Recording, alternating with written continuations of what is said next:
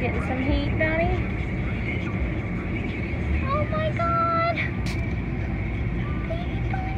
Okay, I'm gonna put him. I'm gonna put him back because he's pretty warm. Okay, I'll put the bucket straight so it's not like slanted. Okay, and I'll warm. Because he's the cold one. Okay, so here's the story. I was helping.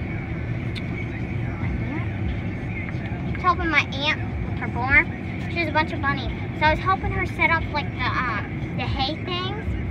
Like, you know, you know, the bunnies need to be laid um, because otherwise they'll die if they're not warm. So, um, I was helping it up and I was setting the hay stuff in there. Not the hay stuff, but like the shavings, this stuff to keep them warm uh, when they're born. And, um, I felt something squishy in there. And I found this one and another rabbit, but the other rabbit was dead. He was alive. So I start rubbing him, trying to get his heart flow, trying to keep him warm. And then while I'm doing that, I go to check. I find two more. He's one of the two more. And then the other one died. So two died, two living. These are the two that's living. Obviously, we disposed the two that's. But this one did not look good. He was not moving at all. And then I started like rubbing him and he was still didn't work.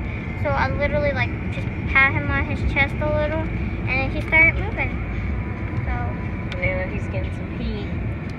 doing much better. He's more responsive. He's very skinny too.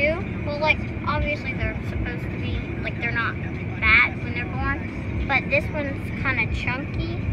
You can tell. It's doing much better than this one. This one was like freezing cold. That one was warmish. Um, she didn't even pull her fur, and normally they'll pull their fur. Normally they'll pull their fur when um. I can turn it pull their fur when they have babies. She, the mom didn't even pull her fur.